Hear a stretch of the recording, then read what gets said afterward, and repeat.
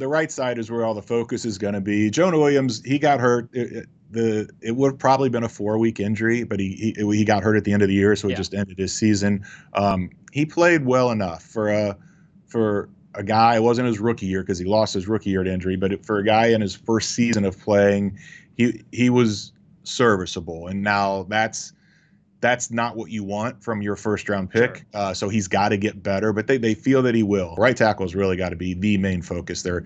Bobby Hart is still under contract, but doesn't look like there's a path for him to come back. I think it'd be a $6.9 million savings uh, against the cap if they let him go. All indication is that is what they're going to do is let okay. him walk. They don't need an all pro, but they need to get a starting caliber right tackle in free agency. And then the, the the dream pick for I think most Bengal fans and maybe even for the Bengals organization themselves. Joe Thuney from the Patriots.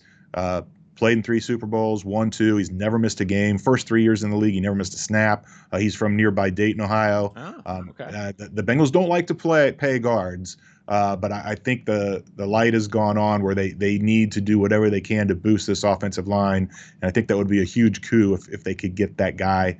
Um, and and there's other guard options out there too, but those are the two main spots. They they uh, they still believe in Michael Jordan. He's just a little young. They're they're, they're willing to be patient, let him come along. I don't think anybody views him as a starter in 2021. And Quinton Spain played really well once they signed him. Um, uh, when Buffalo released him, and Xavier Su'a-Filo. They still aren't quite sure what they have in him. He got hurt in the opener, missed about 10 weeks, I think it was, and he came back and played played decent. And then you got a question at center too, because Trey Hopkins tore his ACL in the season finale. Uh, going on normal timelines for ACLs doesn't seem that it would be likely he would be back for the opener. So maybe it's Billy Price that takes over.